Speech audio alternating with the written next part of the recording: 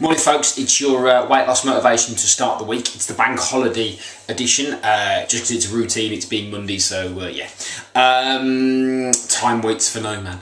Um, okay, I'm going to talk about balance now. I'm going to talk about the concept of balance, but not in terms of a balanced diet, because a balanced diet in moderation, if you look at examples, doesn't tend to doesn't tend to work very well because of the addictive nature of, of sugar and flour, uh, based on examples. So I'm not going to talk about balanced food.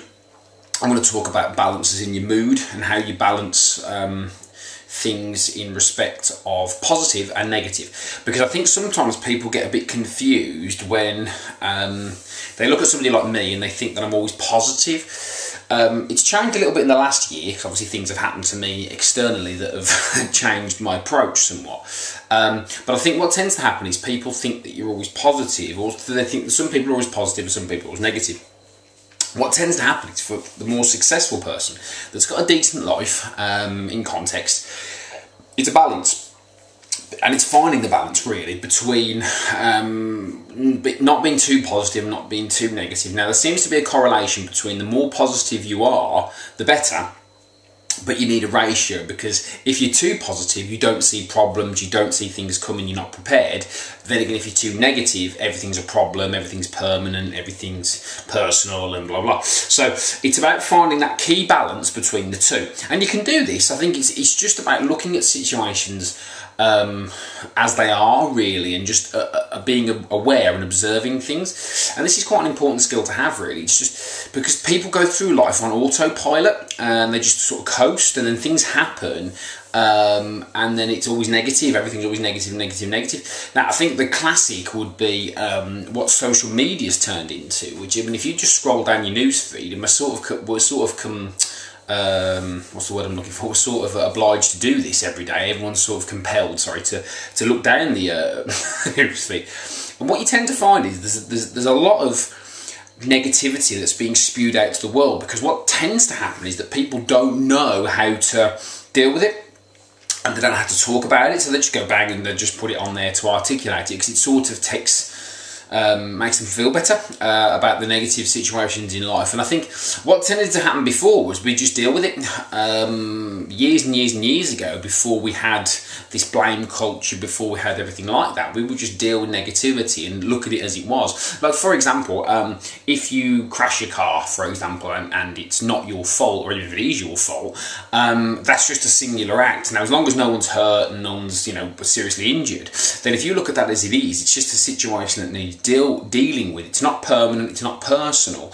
Um, but again, it's looking at it like that, looking at every little situation that happens to you with balance, and saying, right, okay, there is going to be some negative things happen. Like for example, if you're trying to lose weight.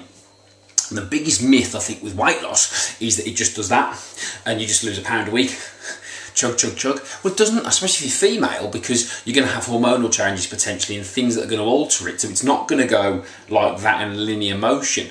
Um, and then it's dealing with those things in a, in, in, a, in a balanced way and saying, well, okay, um, what do I need to do differently? How do I need to adjust? How do I need to look at the situation? But also accepting that that's going to annoy you a little bit and being a little bit negative if things don't go your way and not going, oh, everything's fine and everything's rosy in the garden when it's not. Because if a classic quote I heard nine years ago, was um, if you uh, ignore the weeds, they take your garden. So some people, I used to be a bit like this years ago, um, when I was sales manager, as a good example, I tried to positively motivate my team to sell more. Huge mistake. They needed to know how to do their job. So they didn't need motivation, they needed mechanics, they needed strategy, and they needed things. Now, mechanics and strategy aren't always positive. Um, sometimes it's just a matter of getting done what you need to get done, uh, and that doesn't necessarily have to fit into both camps. So the skill I'm going to talk about today, I'm going to teach you today to make the point, is always look at things subjectively and say, right, okay, this has happened. Um, don't view it as permanent, it's all negative, and don't view it as all good, because what people tend to do is when good things happen, they tend to think everything's okay, and when bad things happen, everything's bad. Well, you've got to get a balance, and you've got to look at things as long as you're still here and you're still alive and you made it and whatever, you can then look at things in a balanced way and say, okay, what does this mean and how can I deal with this moving forward? People swing too much, I think it's you're, you're never going to find a you know life doesn't tend to give us um, a smooth ride, especially if you're out there doing things. If you're out there trying to achieve new things, do new things, then you're going to get to places that you're not sure. Um, what to do sometimes because they're new. So if you just stay like that and don't ever progress and don't ever grow, uh, your life's boring, you don't achieve anything, and then you end up just sort of you know floating. Whereas actually, if you're going out and you're going into the rough seas, it is going to be like that, and it is dealing with those situations. And It's not sort of giving up as soon as the first negative things happens, and it's also not saying oh everything's great when the first positive things happen. It is about looking at balance and it is about saying, right, I've just read, I'm reading a book at the moment, he calls it buoyancy. So, bobbing. so you say, well, okay, this happened, it's negative, okay, what needs to be done? This happened, it's positive, great, what can I learn? And also, it's okay sometimes to be angry with yourself in a negative way, to say, you know what, I am annoyed that, that happened. I am a bit, you know, narked off that this particular thing happened to me, but then what am I going to do to fix it? Not I'm annoyed with myself, everything's over, it's all bad. No, I'm annoyed with myself, what now do I now need to go and do that's going to help me move forward with my goals uh, and help me achieve things in life. So, key message for today is look at balance. Classic time of year for balance, August, end of August, it's that classic, oh God, September, autumn's coming thing.